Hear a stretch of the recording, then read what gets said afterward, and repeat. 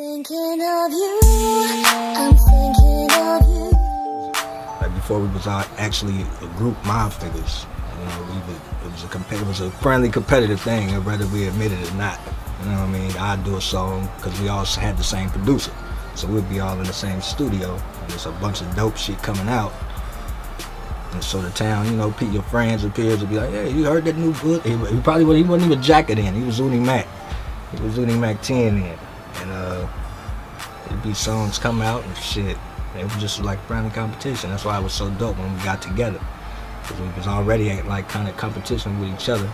And then you put us all in a bundle, you put us in the studio with somebody else. Now it's us together against whoever the fuck you put us in the studio with.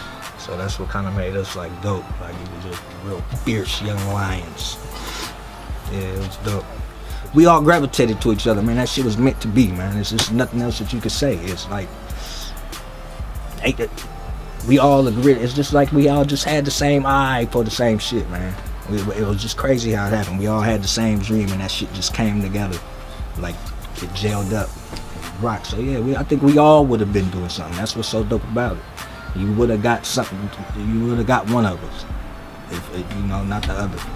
But I think we all had the same dream because we all had the same passion. That's why I say we always had that friendly competition like that. We didn't never stop. I mean, we going on something damn near 20 years. Almost 20 years. And I'm shit. I don't see no time stopping right now. So, hell yeah.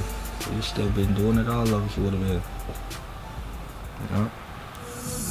Look, man, I'm just a crook, and I holla fuck school when stuck with my fam. Hitting my niggas sacking up grams. I'm wrapping up grams, doing shows with my niggas, tossing G's to my fans. We on the run, still on the streets, we just thugs.